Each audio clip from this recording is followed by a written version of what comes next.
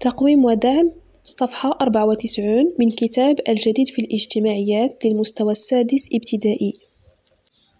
إذا التمرين الأول. لدينا الوثيقة المرافقة للأسئلة. آه، الوثيقة تمثل أنواع الأشجار التي تشكل الغابة بالمغرب. لدينا مثلا شجر الأرز شجر العرعار الصنوبر البلوط الأخضر الأركان البلوط الفليني وأصناف أخرى من الأشجار التي تشكل الغابة بالمغرب. بالنسبة للأسئلة السؤال الأول أحدد من الرسم أنواع الأشجار التي تشكل الغابة بالمغرب وأرصد النوع الأكثر انتشارا. السؤال الثاني أعطي عنوانا لهذا الرسم البياني.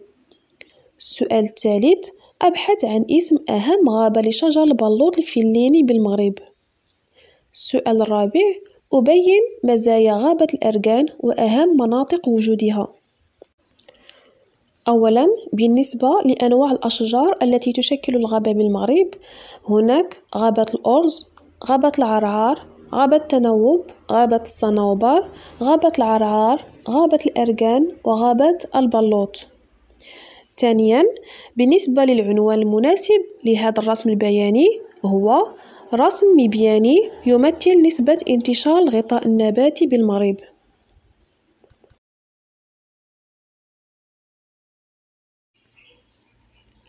ثالثا بالنسبة لإسم أهم غابة لشجر البلوط الفليني بالمغرب هي غابة المعمورة التي تتواجد على ساحل المحيط الأطلنطي وبالضبط بين مدينتي الرباط وقنيطرة. رابعا مزايا غابة الأركان هي أنها توفر حطب تدفئة تحافظ على التوازن البيئي وتحمي التربة من التصحر. ومن أهم مناطق وجود غابة الأركان منطقة سوس. الوثيقة الثانية عبارة عن ملصق لمهرجان إفران الدولي. والوثيقة الثالثة تمثل رمز المملكة المغربية. بالنسبة للأسئلة المرافقة للوثيقة الثانية والثالثة السؤال الأول أبحث عن أهداف مهرجان إفران وما توحي به صورة الأسد وشعار أغاني الأرز في الملصق رقم اثنان.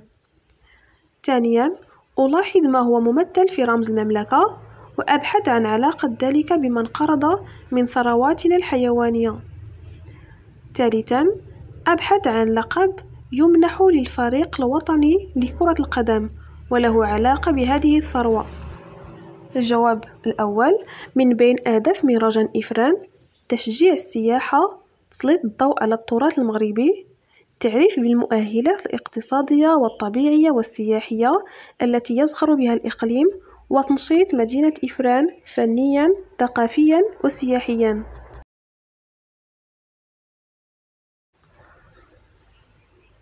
وبالنسبة إلى ما توحي إليها صورة الأسد وشعار أغاني الأرز في الملصق رقم اثنان أن مدينة إفران تحتضن أكبر غابات شجر الأرز في العالم.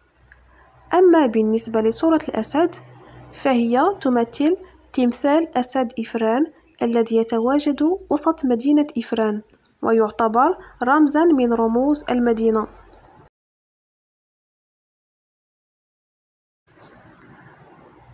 ألاحظ في الوثيقة الثالثة رمز المملكة المغربية الذي يتكون من شعار ذهبي وأسدين واحد على اليمين والثاني على اليسار.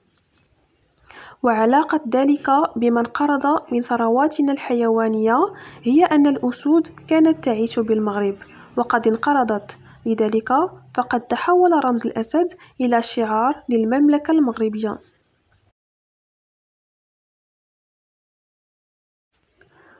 أما بالنسبة للقب الذي يمنح للفريق الوطني لكرة القدم والذي له علاقة بهذه الثروة هو أسود الأطلس. التمرين الثاني لدينا الوثيقة الأولى تمثل رسم بياني لبنية الصادرات المغربية لسنة 2014 لدينا في الوثيقة آليات ووسائل النقل التي تمثل 29.2% الملابس تمثل 13.9% المنتجات الفلاحية تسعة عشر فاصلة خمسة بالمئة.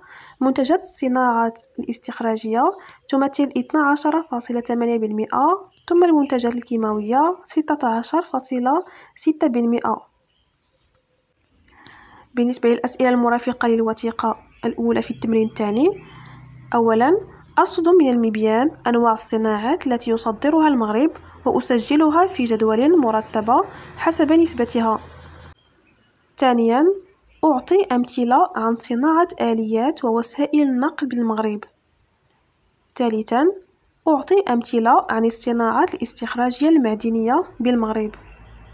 إذا أولا أنواع الصناعات التي يصدرها المغرب هي آليات ووسائل النقل المنتجات الفلاحية المنتجات الكيماوية الملابس ومنتجات الصناعات الاستخراجية.